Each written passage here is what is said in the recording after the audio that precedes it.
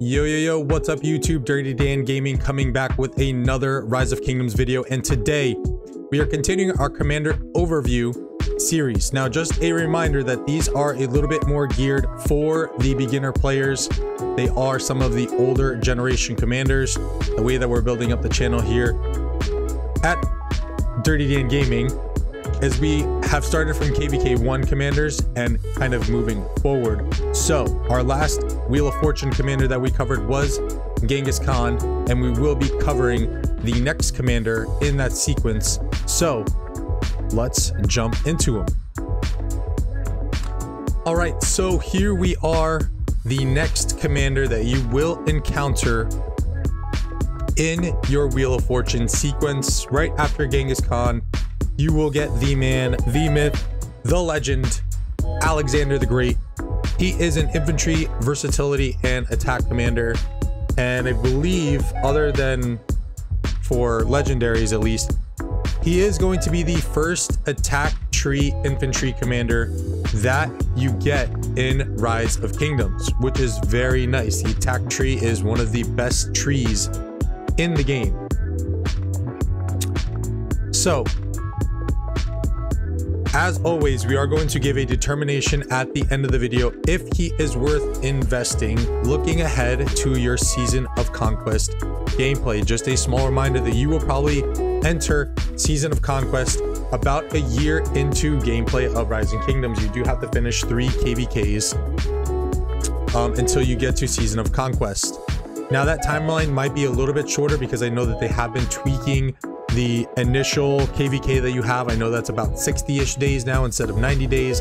And they have reduced the time in between KVKs if you do choose so as a kingdom. So that time, that time frame may be a little bit off, but just as a general guide, it will take almost about a year to get into Season of Conquest gameplay. So let's check out his skills and see if he is worthy for that investment looking ahead to your KVK Season 4. First skill, Shield of the King. Alexander gains a shield that lasts 4 seconds which can absorb a large amount of damage, damage factor up to 1200, and at the same time puts a smaller shield for the allied troops, including his own troops, with the lowest percentage of units in a circular area of effect. The smaller one lasts 2 seconds and absorbs a small amount of damage. Damage factor 600. So, just as a quick glance view, this is a pretty good skill very similar to what you get with Charles Martel, although slightly less powerful in terms of your own shield that you're getting, but he makes up for that by also buffing your alliance mates with an additional shield that lasts for two seconds. Anytime you get a skill that is helping your alliance members is always a good thing, and that's kind of why I was a little upset when I saw in the Facebook Rise of Kingdoms group that some people were saying that Alexander was not worth the investment. And I just, I almost lost my mind because again, he's doing things that help your alliance mates out and you should always be, you should always want more of those commanders on the field whenever possible. So whenever, when I saw that, I just almost lost it. I almost went on a rant on Facebook, which I don't usually do. I don't like to be a keyboard warrior, but um, that almost, that triggered me a little bit. Next skill, lead the charge. While on the map, troops led by this commander are immune to all damage reduction debuffs, and their normal attacks have a 10% chance to deal an additional damage to the target, damage factor 1700, and reduce its healing effects by 30% for 5 seconds. So, a lot going on in this skill here. Um, I really love the fact that it is not being troop specific. So anytime you see this wording, troops led by this commander, that will mean that it's any type of troop unless they're specifying that infantry units led by this commander or cavalry units led by this commander, unless they specify that exact wording, troops led by this commander is going to work for all commanders, which is another reason why I feel Alexander has a lot of value because you can mix and match him with different troop type commanders, which is what I did in my KVK Season 2 by pairing my Alexander up with Genghis Khan. The second reason why I did that is because they are immune to all damage reduction debuffs. You're getting that buff for any troop type. So I guess it's still the first reason. Um, but in KVK2, you're still seeing a lot of Richards on the field.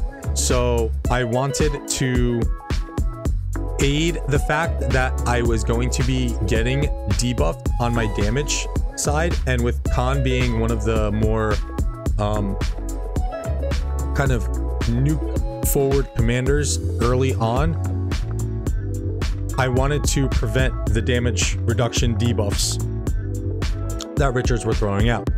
Additionally, he's going to give you a chance to proc a 1700 damage factor skill with um, nuke, which is very nice, and then reduce its healing effects by 30% for 5 seconds. Um, this is also kind of geared towards that counter of Richard. If you guys didn't see my Saladin video, I'll leave a card up on the top, but I did talk about that shortly.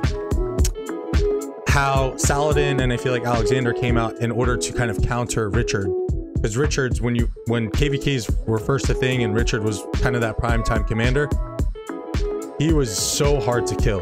And I think that the healing effect reductions that you get from Saladin as well as Alexander were the answers that Lilith were trying to provide for the players in order to kind of um, aid them a little bit in taking out Richards in the fields. Also, a very key thing about this skill, while on the map, this means that your troops have to either be in a rally or on the field fighting. This skill does not work whatsoever when you are in garrison. I have tested it. Check it out. I'll show you real quick on this garrison portion right here that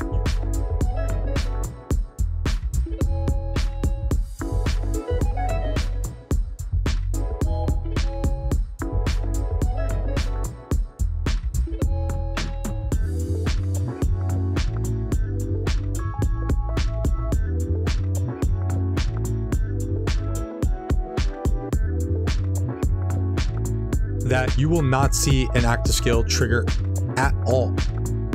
So this effect, this skill does not affect when you're in garrison, much like this third skill, frontline commander. While on the map, infantry units led by this commander gain 25% increased march speed and 25% oh, up to 30% increased march speed and 30% increased attack. 30% march speed is very nice, especially for infantry units because them boys is slow. The attack is okay. It is what it is. Early in the game, yes, it's awesome, especially for your KVK2. Um, and especially for the fact that Alexander is like the rally meta in KVK2 with Alex YSG or Alex Martel. Next skill before the expertise, Battle of Chaeronea. Uh, when not shielded, troops led by this commander gain up to 40% increased attack. And when shielded, troops gain up to 30% increased defense instead. So again, we're seeing this troops led by this commander phrase.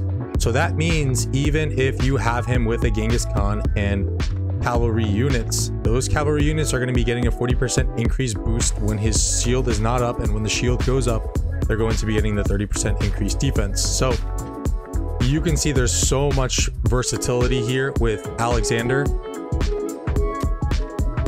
Again, it just kind of blows my mind that people said that he wasn't worth the investment anymore. And this is the final reason why I think that he is worth the investment for Season of Conquest. We'll give an early two thumbs up. I usually wait until everything's all done, but um, we give him the, the dirty two thumbs up.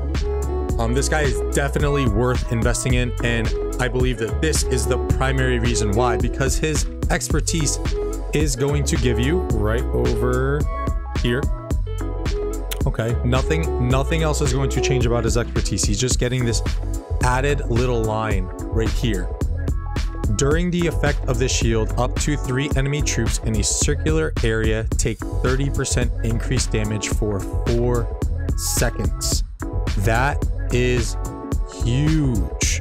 We've seen a debuff in one of our Generation 1 commanders with Minamoto where he is giving a, a chance to give a 30% debuff to the enemy. This is all the time. Whenever that active skill pops off, you are going to be debuffing enemy marches for 30% increased damage. That is so huge. So huge. You almost, because of the skill for me personally, I, I almost try and target Alexander's a little bit more often than I think other people do. I know we should usually go like, um, you should usually go for your high nukers and then the debuffers. Um, I just, I, I don't like the fact that when I see a bunch of Alexes on the field that my alliance mates are being affected by it and we're effectively taking more damage. Anytime you're taking more damage is a bad thing. Anytime you're giving more damage is a good thing, obviously. Um, but this is this is like one of the, the primary reasons why I think he is a must-have commander in your lineups, especially for Season of Conquest, and especially with the commanders that come out after um, Alexander. Guan Yu comes out. We now have CJ who comes out. Harald. Those are all amazing combinations to have with this commander. So yes, you do want to go ahead and work on him and expertise him. As you can see here, as you guys know who follow who've been following the channel, I am a super min-max on Cav right now.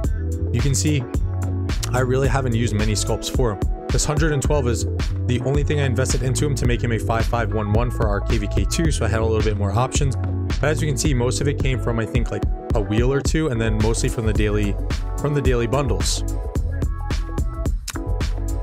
So yes, he is worth maxing, and I think that you you will get a lot of value out of him. Um, as time goes on, he you just can pair him with so many different commanders, and so many of these skills are usable with any type of troop, all besides one, actually. All of his skills work with any unit type besides his third skill that is just infantry specific. So I would definitely say go ahead and work on this commander. If you are not an infantry main, you're going to have to make that call. Again, if you didn't catch my Saladin video, I kind of touched on this a little bit. With both of these commanders, I think you can you can pick one or the other early in the game and then decide what which way you want to go later in the game. Very much of what I did. I invested into Saladin. I dumped a I dumped some of my a good amount of my sculpts into him. Okay almost 300, and that made him a 5551. That made him instantly usable, and I used him with um, with YSG. Now, at the time, I didn't have the sculpts because I'm, I was gearing up for KVK2 and I wanted Khan and Saladin. If I could go back, I probably would have, I probably would not have Max Khan and maxed Alex. I would still be using him up to this day, um, so I'm still kind of keeping my fingers crossed that we get a, a nice support cav commander or a defense cav commander, but we'll see. So when it comes to deciding what commanders you're going to be maxing in your KVK2, I do kind of want to leave that up to you guys and kind of, it, it really depends on the type of player you are, the, the type of troop types that you want to focus in. But again, he does get the two thumbs up. I think that he is worth the investment. If he takes a little bit more time than some of your other other commanders, then that's fine. But it's definitely a commander that you want to work on and one that you should invest in. So with that, we're going to wrap up the video. I hope this was helpful. And I just want to thank everyone for all of the support um, that we have been getting lately. It has been absolutely amazing. We had one of our best streams yesterday and um, we're gonna look to continue that. We have KVK coming up um, in literally, I think, a day. We're gonna be dropping into the map, and next week we will have the first passes opening. So stay tuned for that. And if you guys enjoyed the content, please consider slapping a like on the video. Consider subscribing down below. All of it is totally free and helps the channel out a lot. And if you guys want to talk about anything else, leave a comment down below. With that, Dirty Dan Gaming, I'm out. Enjoy your week. Have a good one, everyone. Peace.